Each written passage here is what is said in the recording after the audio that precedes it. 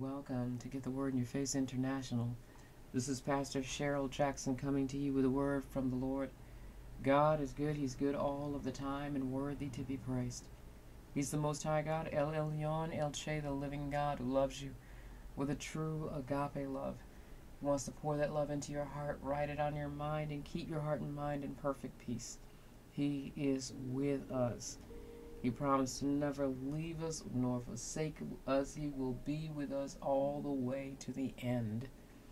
And all we have to do is keep ourselves in God's love, taking all of our cares, casting them before Him, acknowledging Him in all of our ways. And, and that means any way that we think, any way that we feel, any each and every way that we could possibly be and wherever we are in the day and in the night, whether you're laying on your pillow or walking around and doing life today. Glory to God in the highest. He's with you and in you. He's to you and through you. He's given us His Spirit. It, it, his Spirit never takes a break. God never sleeps. He doesn't slumber. He's right there in the midst of us. The Lord is our life. He's our life. He is the life. The life is living in us. Yes, there's a very real enemy in this world, and there's a flesh that we have to deal with. But we take this flesh and we bring it before the Lord to be crucified. I like what it says in Galatians chapter 5 when it talks about the nature of God. The Holy Spirit is bringing the nature of God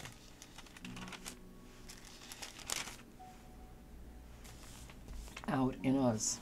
And it says here, verse 25, no, verse 24, and they that are Christ have crucified the flesh with all with the affections and the lust and lust.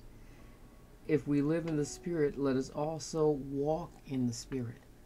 The Spirit is producing the nature of God in us so that we're able to have, um, so that we're able to walk the way Jesus walked in this earth so that we're able to be the way that the Lord is. See, the Lord's heart for us is the here's the fruit of the spirit. Let me just say it. The spirit the spirit of love, joy, peace, long suffering, gentleness, goodness, faith, meekness, and self-control. Meekness is just power under control. Is not weakness. It's power. It's mean, meaning that you could have done something about that situation, but you heard the voice of the Lord and you were still. huh? You you did according to the way the Lord would have you do. You prayed for that situation rather than just giving that person some money, you know, so they can go feed that habit. You, you prayed about that that motorcycle accident over there rather than you know, worrying about it and, and, and hurting over it and, and just going on past it. You went and you helped the neighbor who who was down and out and there somebody just passed away. You you got a card out and you wrote some sentiment in it and, and gave them strength in a time of need. You didn't just, you know, overlook it, but we look to the Lord and we are like him in every way because see, he's in us, the life of God. And it's in us. The love of God is in us. The kindness of the Lord is in us. Even the holiness of the Lord is in us. The one who will keep our heart and mind in perfect peace. I'm telling you, we have rest for our soul because, see, we don't live according to the way we used to live. We don't live according to the pattern of this world anymore. They simply love themselves, even if they're depressed. They trust their own strength rather than the strength of God. We trust the one who made the heaven and the earth, the one who sent his son so that we could be, come into his house and be made right with him. Jesus made us right with him. I have to say that again because we look at our own, our own strength so much that we fall short again of God's mercy, of God's grace, of His love for us. He's the one who is great. We were the ones scooped from the dust to the ground. We're the ones that He blew His breath in and wanted us to become like Him. He made us in His image. And how much more so if we receive the Son? Jesus Christ is in us and to us and through us. God is in us and to us and through us. The Holy Spirit is in us, to us, and through us. And for those who like to preach things like, how can Jesus, how can God fit inside of a person? God is spirit. God is spirit. And when we see him, we'll know everything. No, not everything, but we'll know what we need to know. we'll know what we need to know. But the way that he is, he's him and he created the world and all that there is in it. My eyes aren't settled on this physical body or on the physicalness of this world, nor on the attitudes of mankind. My eyes are on the one who loves us, who created all life. Seen yet not seen, heard yet not heard. God created it. And He's got He made it all for a purpose. As long as we keep coming to Him and pouring out our heart before Him and taking up what He said and saying that, everything's going to work together for your good. We just have to keep ourselves in agreement with Him. And as hard as that may be with the things that come against the knowledge of God in our lives, greater is He that is in you than He that is in the world. You're acknowledging the Lord in all things and becoming more and more conformed to the Son. We don't want to be conformed to the image of the world. The image of the world is self. It acknowledges that it, it, its acknowledgement is in its own strength. Our acknowledgement is in the strength of the Lord God Almighty, in whom there is nothing too hard for him. There's nothing impossible for him. He gives he we are strengthened by the Son of God. We look to the one in whom we've been forgiven of all of our sins because of his blood, because of his name and what he went to what he accomplished going to that cross, dying and rising again. We have life because of him but not by anything that we've done. What we did is we fell in love with the one who created the world and all that there is in it. We fell in love with the Son that He sent to save us.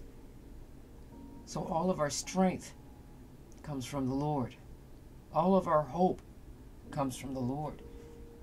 He's resting in us and, and we need he's I mean he's in us and we need to rest in him. You know, I feel a fast coming on. And I feel a, a need to empty the gut. the Lord is with us and in us and to us and through us. He, the Lord is the, the life. Live in Christ today. Don't lean on your own understanding. Pray for those who hurt you. Even if they hurt you in the past, please pray for them. Let them go for your sake that they're not that mental stronghold in your mind creating a block so that a stronghold can grow and grow and grow and you can't get into that place into that secret place with god and do a greater work in this earth be released from the power of the enemy by coming into the true knowledge and into the true nature of the holy one because he wants to fill your heart and mind with perfect peace. He wants you to live in your heart with rest in your soul because we're going to do great work right here, right now. Hmm? I, I want to see you in heaven. I don't want to see any one of us thrown out into outer darkness because we didn't prepare ourselves for this great wedding feast that we're that we're joined. You know, we're going to be in because we said yes to the Lord. We, we, we're espoused to Him. Hmm? He, he's your, what is it, fiance. And we're supposed to make ourselves ready by getting dressed. And we get dressed in this word, in the knowledge of who God is. And that knowledge enters your heart. And that knowledge gets in your mind. and the Holy Spirit is working in you and you're you by by by us coming we're washing our robe out in the word of God we're washing our soul out in the word of God and we're getting the knowledge of who he is and what we are and we're being strengthened and learning how to live and breathe and walk and talk in this life because we're in his love we're in him the Lord knows how to take you and work everything out together for your good. We take every care we have. We put it before the Lord because these are the roadblocks. These are the bumps in the way. Fear is a bump. It's in the way. But don't let fear have you. Let God's love have you. Hmm? Perfect love. Cast out fear. Fear has torment. It's going to torment your mind. The past will torment your mind. What people think of you will torment your mind. How you look and how you feel will torment your mind. But you are, uh, you have been made by God and for God. And whatever thing didn't develop in your life, don't worry about that. Cast it before the Lord and learn, uh, get in Him. When we acknowledge who He is, when we learn who He is, there's nothing about your physical appearance and nothing that this world can say that will separate you from the love of that God has for you. And that is a, that love is so infectious it gets down into your heart and all you want to do is live for the Lord. See, our life is not destined to just this earthly planet that we're walking on right now. This is all temporary. We have life with him forever. I got to go. But trust in the Lord with all your heart. Don't lean on your own understanding for anything.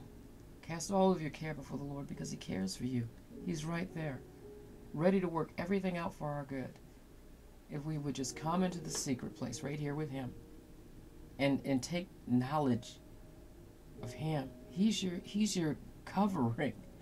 He's got you. He'll comfort your heart and mind. This is Pastor Cheryl Jackson at Get the Word in Your Face International. Get the Word in your face. Love the Lord your God with all your heart, with all your mind, and with all your strength because He loves you. Let's be ready. Bye bye.